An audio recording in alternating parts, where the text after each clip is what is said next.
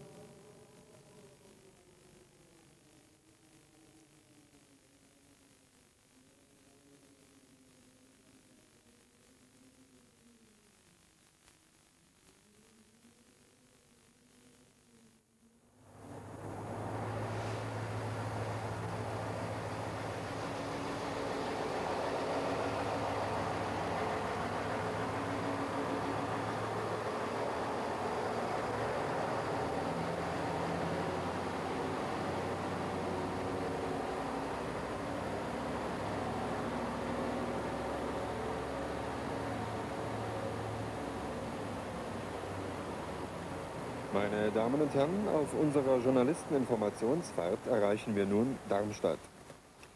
Die Strahlung hat seit dem Unfall vor drei Monaten zwar deutlich abgenommen, liegt aber noch immer weit über der medizinisch vertretbaren Schwelle. Sie ist 10.000 Mal höher als der natürliche Wert vor der Katastrophe. Wir versichern erneut, dass die Zone hundertprozentig abgeriegelt ist. Ein Betreten ist damit praktisch unmöglich. Dies haben Sie ja bei der Eingangskontrolle Mainz bereits beobachten und auch filmen können. Wir werden etwa eine Stunde in diesem Segment bleiben, bevor wir dann die übrigen Punkte planmäßig anfahren.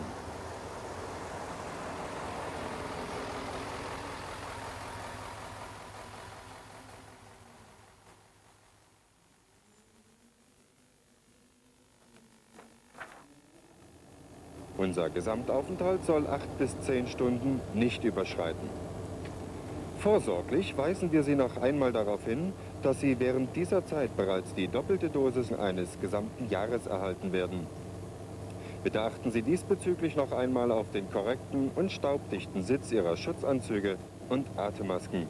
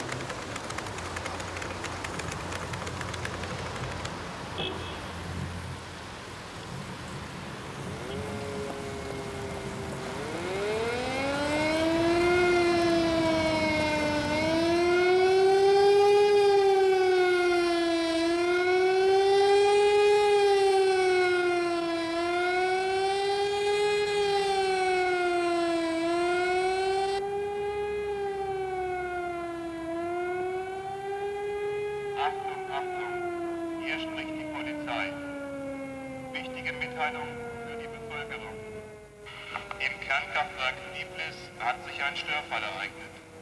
Es besteht keine Gefahr für die Bevölkerung.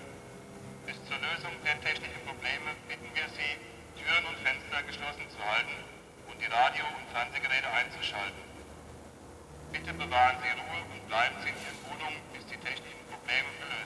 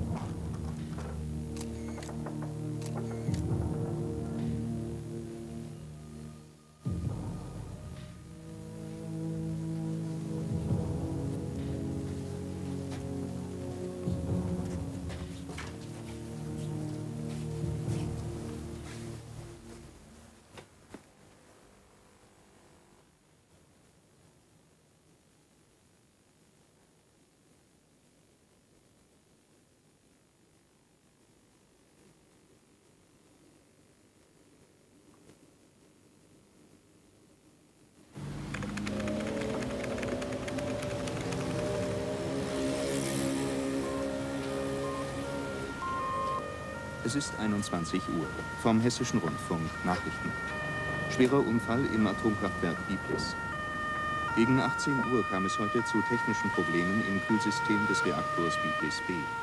Trotz sofort eingeleiteter Accident Management Maßnahmen könnte der Störfall nach Angaben unabhängiger Experten inzwischen zur Hochdruckkernschmelze mit massiver Freisetzung von Radioaktivität geführt haben.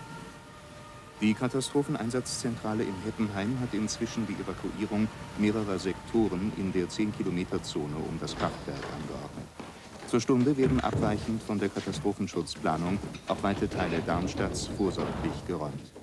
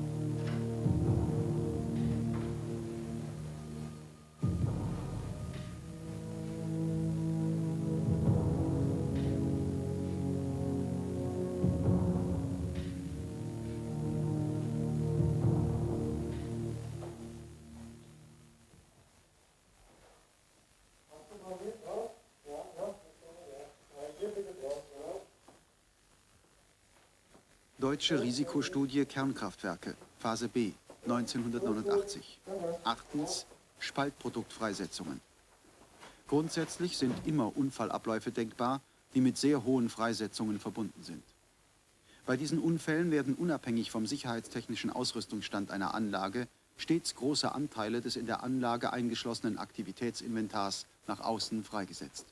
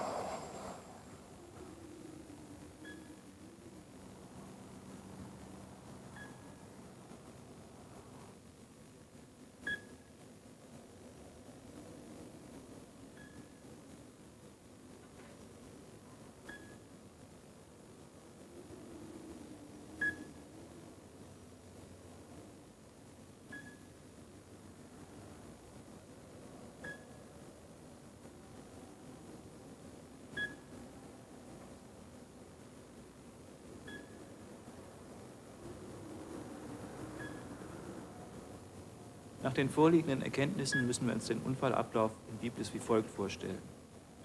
Nach dem Ausfall der Kühlung und nach dem Versagen der Sicherheitssysteme erhitzt sich der Kern. Er schmilzt unter hohem Kühlmitteldruck. Die Schmelze fällt auf den Boden des Reaktordruckbehälters. Sie durchschmilzt den Boden des Reaktordruckbehälters. Dabei wird der Druckbehälter nach oben beschleunigt. Bruchstücke durchschlagen den Sicherheitsbehälter. Es entsteht ein Leck im Sicherheitsbehälter und es werden große Mengen des radioaktiven Inventars nach außen freigesetzt.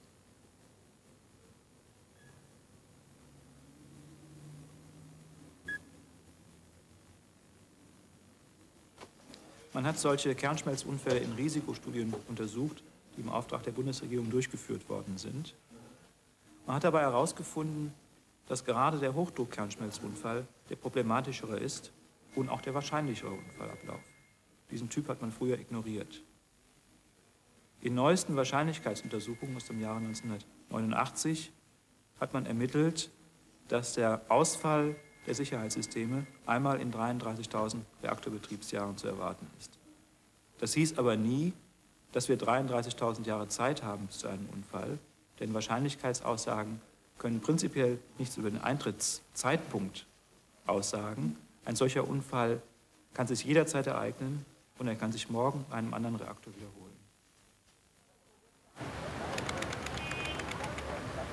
Hier ist der Hessische Rundfunk. Wir unterbrechen unser Programm für eine wichtige Meldung. Dreieinhalb Stunden nach dem Atomunfall in Biblis ist die Lage im Rhein-Main-Gebiet offensichtlich eskaliert. Der Verkehr in und um Frankfurt ist vollständig zusammengebrochen. Die Polizei meldet zahlreiche schwere Unfälle.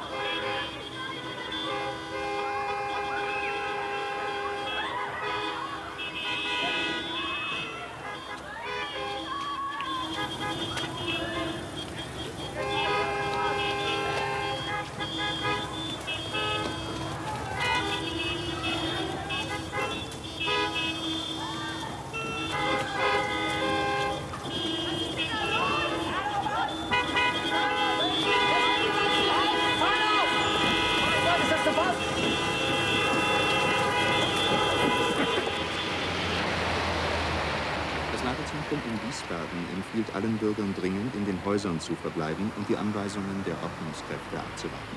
Dies sei der beste Schutz für die Gesundheit, heißt es erneut in einer Erklärung. Evakuierungsmaßnahmen würden derzeit rein vorsorglich eingeleitet und blieben auf die unmittelbar betroffenen Gebiete zehn Kilometer nördlich und östlich des Reaktors beschränkt.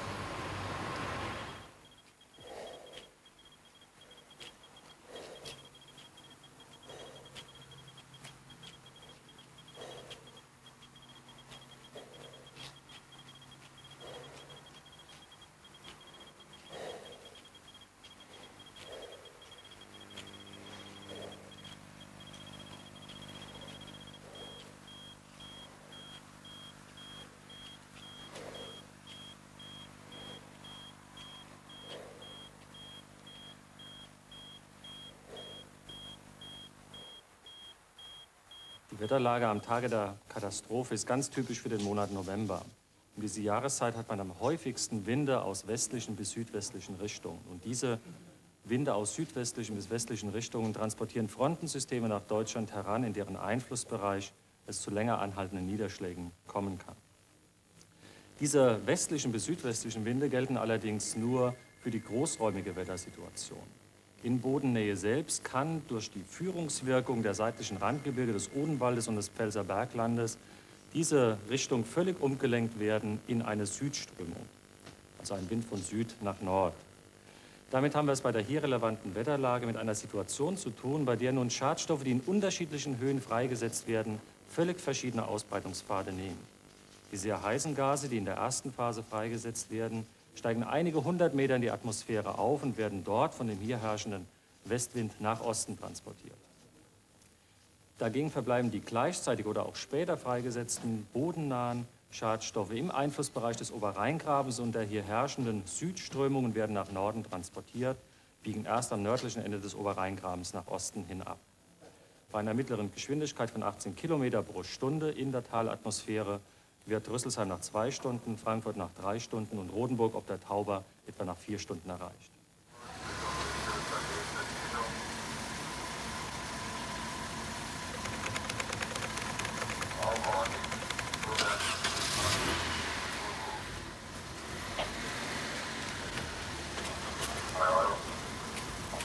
Südwestfunk Baden-Baden mit einer Sondermeldung.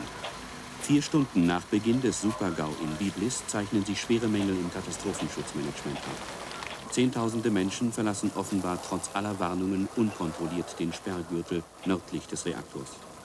Bisher konnten erst an wenigen Hauptausfallstraßen entlang der 25 Kilometer Außenzone Dekontaminationssperren errichtet werden. Feuerwehr und THW sind personell völlig überlastet. Die Katastrophenschutzpläne sahen lediglich Sperren entlang der 10 Kilometer Mittelzone vor.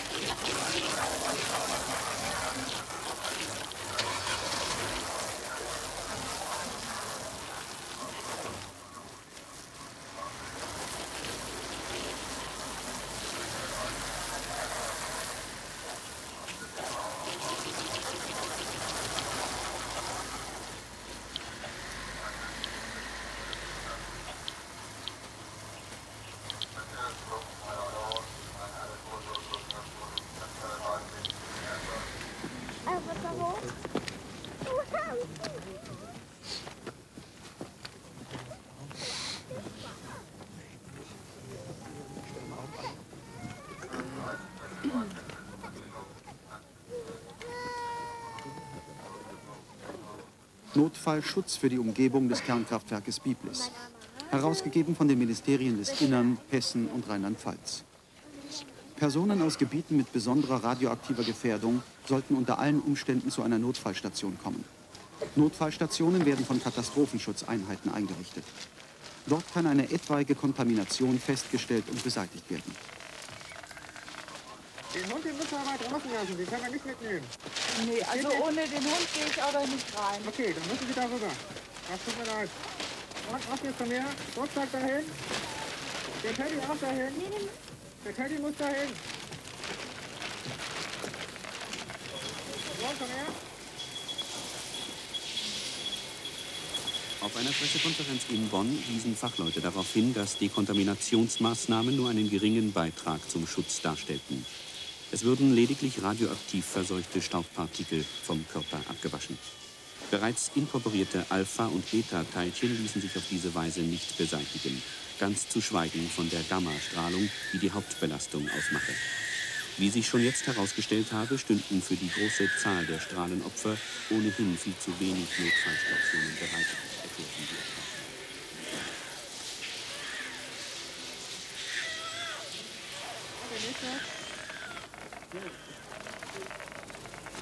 Die Mütze Sache dahin. Übungen mit der Bevölkerung fanden nie statt.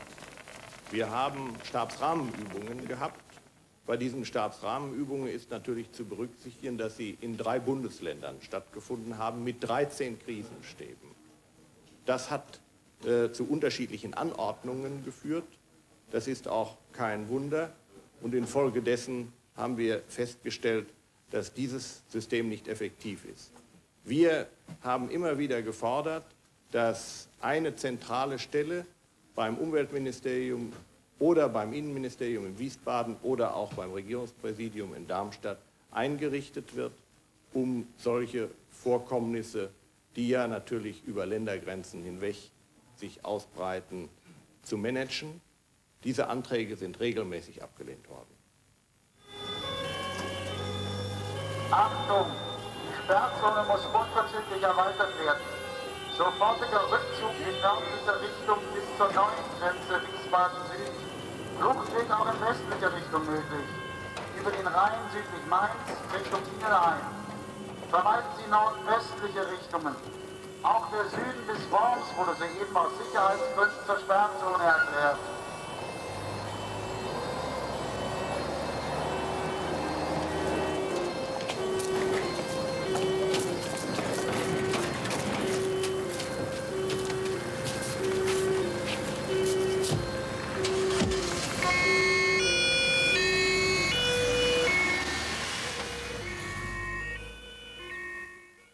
Sämtliche Planungen gingen immer davon aus, dass Evakuierungen bis maximal 10 Kilometer Abstand vom Kraftwerk erfolgen. Bis zwei Jahre nach Tschernobyl lag diese Grenze übrigens bei 7,5 Kilometer, sicherlich auch deswegen, weil man sich die Evakuierung von Worms ersparen wollte. In der anschließenden Zone bis 25 Kilometer sollte eigentlich nur die Strahlenbelastung gemessen werden. Maximales Ziel bei rechtzeitiger Warnung ist es immer gewesen, die Bevölkerung in den Wohnungen zu belassen, bis die Gefahr vorüber ist. Eine Kontamination in diesem Gebiet oder womöglich darüber hinaus war für praktisch so gering gehalten worden, dass man diese nicht erwartet und natürlich deshalb auch nicht erprobt hat.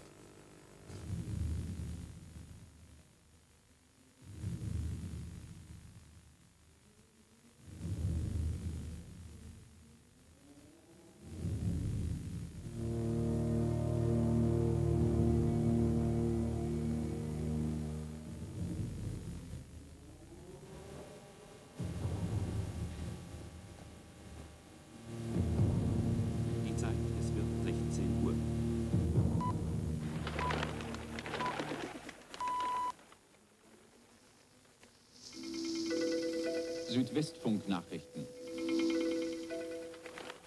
Der Krisenstab der Bundesregierung hat heute die Grenzen für die innere Hochsicherheitssperrzone verbindlich festgelegt. Für das Betreten des Gebietes werden nur für wenige Stunden Aufenthaltsgenehmigungen in besonderen Fällen erteilt.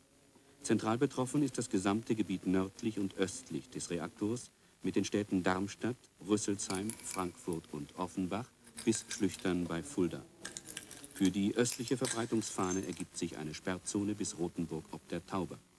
Um weitere Plünderungen im Sperrgebiet, vor allem in den Großstädten, zu verhindern, werden die Grenzen der Zone mit Sicherheitszäunen abgeriegelt und von bewaffneten Posten der Polizei, des Bundesgrenzschutzes und der Bundeswehr bewacht.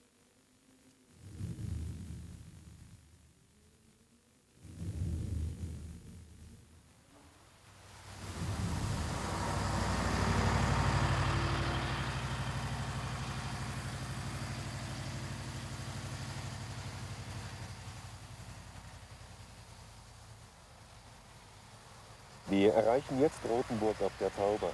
Ein paar Fakten zu Ihrer Information. Vier Stunden nach Beginn des Supergau regnete hier ein Teil der Wolke ab. Betroffen sind Gemeinden wie Michelstadt, Tauberbischofsheim, Bad Mergentheim und Rothenburg. Wie Sie wissen, sind bis heute bereits über 800 Menschen allein aus diesem Sektor gestorben. Rothenburg ist heute eine Geisterstadt, verlassen und zum Teil geplündert. Die ökonomischen Schäden gehen in dieser Region schon in die Milliarden. Genaue Zahlen werden noch erstellt. Sie haben jetzt etwa zwei Stunden Zeit zu filmen und zu fotografieren. Bitte haben Sie Verständnis dafür, dass wir Ihnen nicht mehr Zeit zur Verfügung stellen können.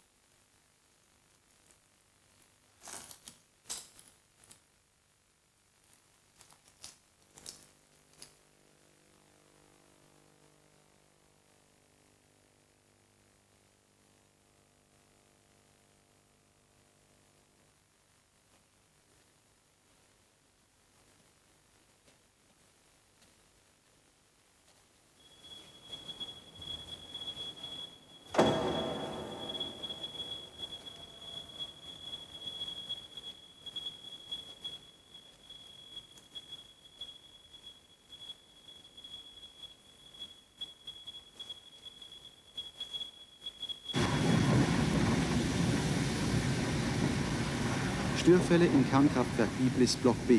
Auszüge. 26.07.88 Aerosolfreisetzung in das Containment mit Räumungsalarm. 28.07.88 Rissanzeigen an der Welle der Hauptkühlmittelpumpe 3. 1.08.88 Rissanzeigen an der Welle der Hauptkühlmittelpumpe 2. 4.08.88 Rissanzeige an der Welle der Hauptkühlmittelpumpe 4. 21.09.88 Abschaltung der Gesamtanlage durch Fehlanregung der N16-Grenzwerte eines Dampferzeugers. Biblis A und B, 49 Kilometer bis Frankfurt, 23 Kilometer bis Mannheim-Ludwigshafen. Brockdorf, 50 Kilometer bis Hamburg.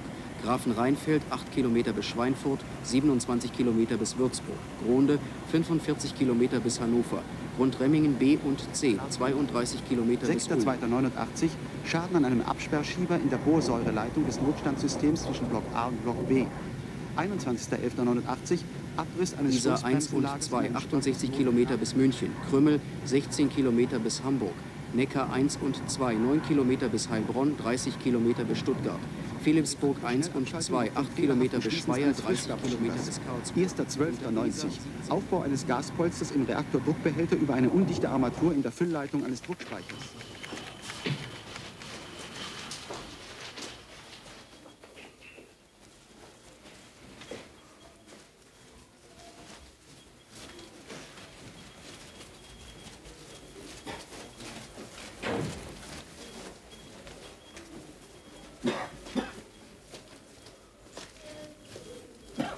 Leitfaden Strahlenschutz bei kerntechnischen Notfällen. Anhang 1, Tabelle 3. Klinische Frühsymptomatik bei Menschen nach akuter kurzzeitiger Ganzkörperbestrahlung. Übelkeit Erbrechen. Dosis 3 bis 6 Gray. Mehrmals stark eine halbe bis zwei Stunden nach Exposition. 6 bis 10 Gray, häufig stark, ab 10 Minuten nach Exposition. Über 10 Gray, unstillbar, ab 5 Minuten nach Exposition. Kopfschmerz. 3 bis 6 Gray, ständig. 6 bis 10 Gray, ständig bohrend. Über 10 Gray, quälend. Bewusstsein. 3 bis 6 Gray, klar. 6 bis 10 Gray, getrübt. Über 10 Gray, benommen.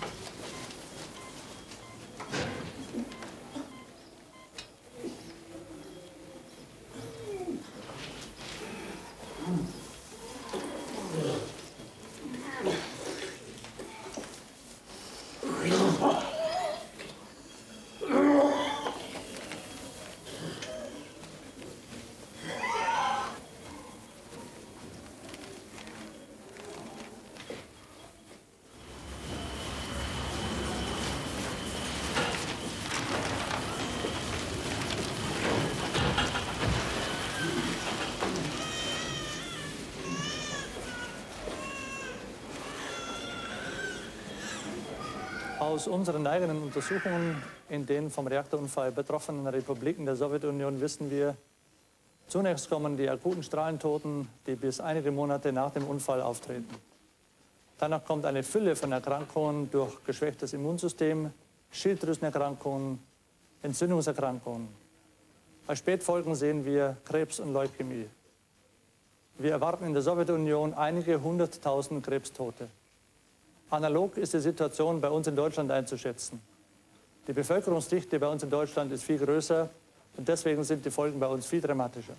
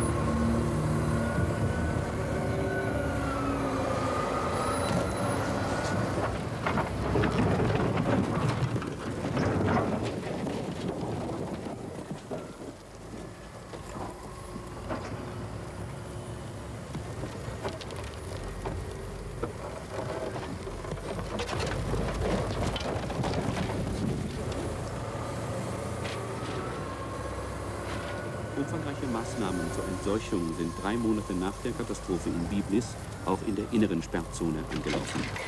Nach sowjetischem Vorbild werden derzeit zurückgelassene Fahrzeuge in geeigneten Kiesgruben entsorgt. ABC-Züge des Katastrophenschutzes haben gleichzeitig damit begonnen, die wichtigsten Nord-Süd-Autobahnverbindungen zu dekontaminieren. Damit soll die eingeschränkte Durchquerung des Gebietes für die Einsatzkräfte erleichtert werden.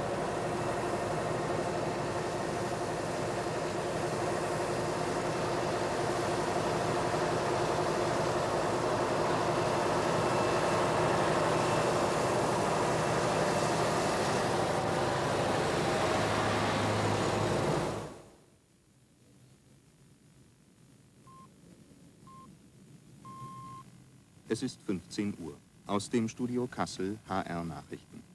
Die großen Unternehmen im von der Biblis-Katastrophe besonders betroffenen Rhein-Main-Gebiet fordern Sondergenehmigungen für die eingeschränkte Wiederaufnahme der Produktion. Die Opelwerke in Rüsselsheim, die Farbwerke Höchst in Frankfurt sowie mehrere Großbanken wollen beim Bundesgesundheitsamt einen Großversuch durchsetzen, der eine sorgfältige Entseuchung der Betriebe sowie die Einrichtung von Sicherheitsschleusen vorsieht. Arbeiter und Angestellte könnten dann in Bussen jeweils für die Dauer der Schicht an die Arbeitsplätze im Sperrgebiet gefahren werden. Das Personal würde mit Dosimetern ausgestattet. Firmensprecher kündigten bereits eine Strahlenzulage von linear 400 Mark sowie die Verdoppelung der Urlaubstage für das betroffene Personal an. Ärzteinitiativen aus mehreren Bundesländern haben die Idee des Großversuches inzwischen als unverantwortlich zurückgewiesen. Auch bei strengsten Sicherheitsvorkehrungen führe ein regelmäßiger Aufenthalt in der Sperrzone auf Jahre hinaus zu schweren gesundheitlichen Schäden. Das wirtschaftliche Desaster in der Bundesrepublik rechtfertige nicht weitere Opfer unter der Bevölkerung.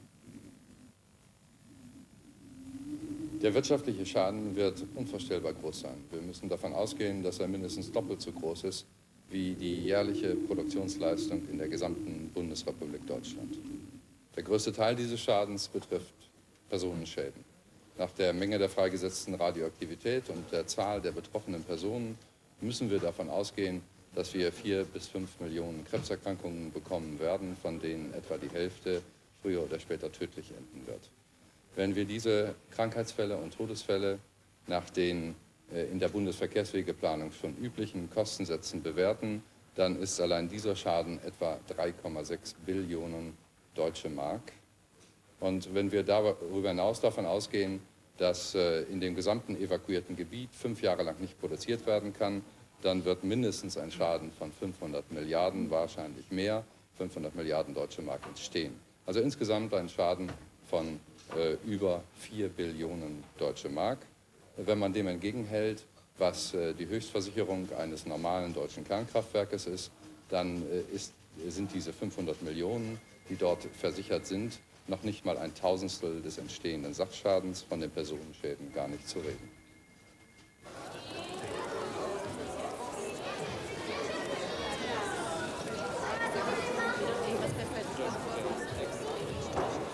Leitfaden Strahlenschutz bei kerntechnischen Notfällen. Anhang 2, achtens Evakuierung. Evakuierung im Sinne dieser Empfehlung ist die organisierte Verlegung von Menschen aus einem akut gefährdeten in ein sicheres Gebiet, wo sie vorübergehend untergebracht, verpflegt und betreut werden.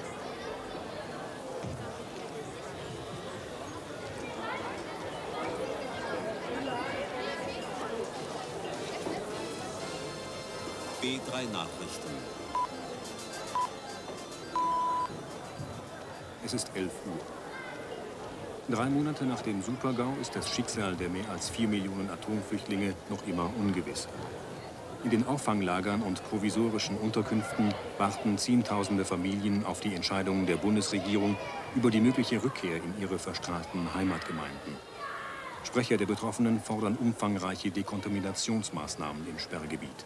Wenn notwendig, müsse großflächig die Erde ausgetauscht werden. Die Strahlenschutzkommission hat diese Überlegungen inzwischen als völlig unrealistisch zurückgewiesen.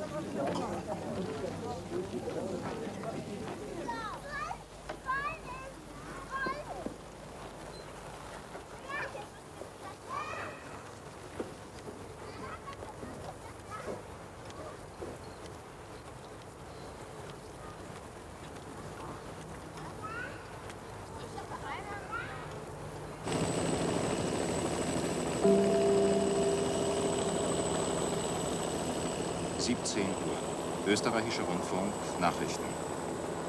Österreich und die CSFR fordern Schadenersatz von der deutschen Bundesregierung. Die Kosten für die nach aktuellen Messungen im Raum Budweis, CSFR sowie Krems bis kurz vor Wien notwendigen Teilumsiedlungen müssten von den Verursachern getragen werden, erklärten die Regierungssprecher der beiden Länder heute auf einer gemeinsamen Pressekonferenz.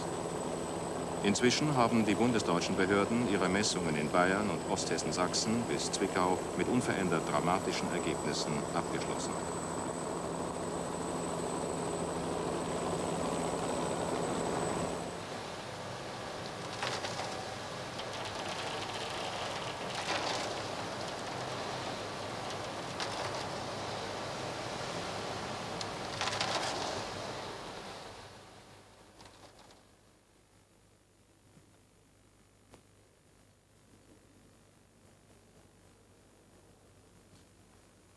Wir sind hier zusammengekommen, um Abschied zu nehmen.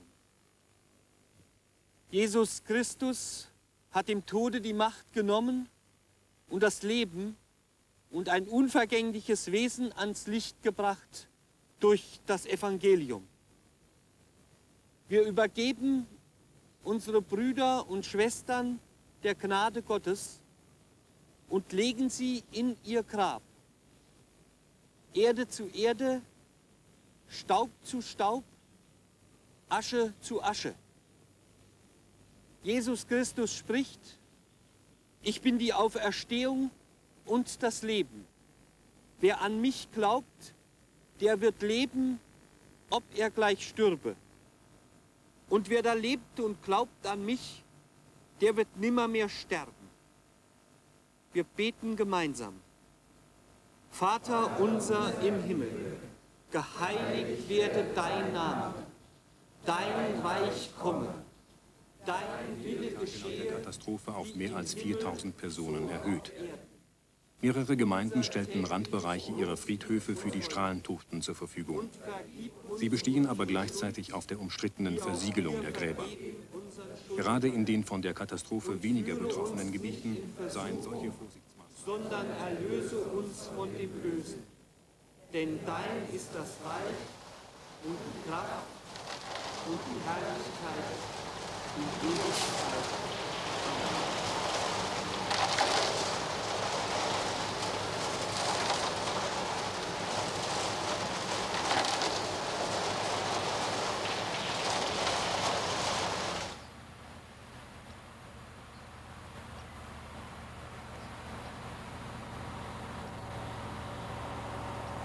Wir beenden unsere Fahrt an der östlichen Grenze des Sperrgebiets.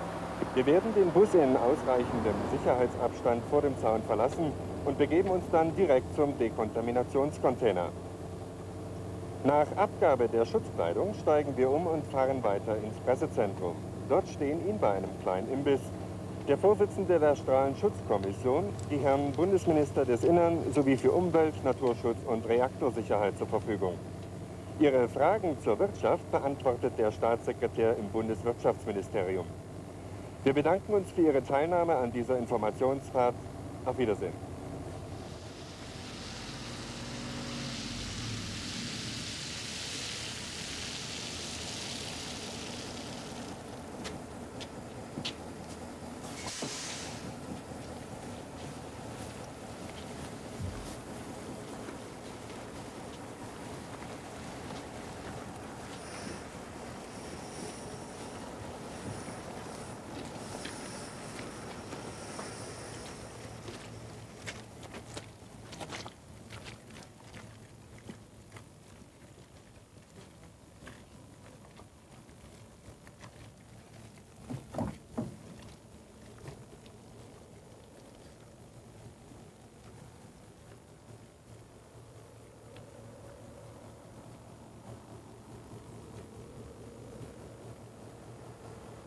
Arbeitsgemeinschaft der Innenministerien der Bundesländer. Wiesbaden 1990. Die Arbeitsgruppe ist sich darüber einig, dass bei Abläufen mit sehr schneller Freisetzung von Radioaktivität dem Katastrophenschutz lediglich die Information und Warnung der Bevölkerung als Hilfsmaßnahme zur Verfügung steht.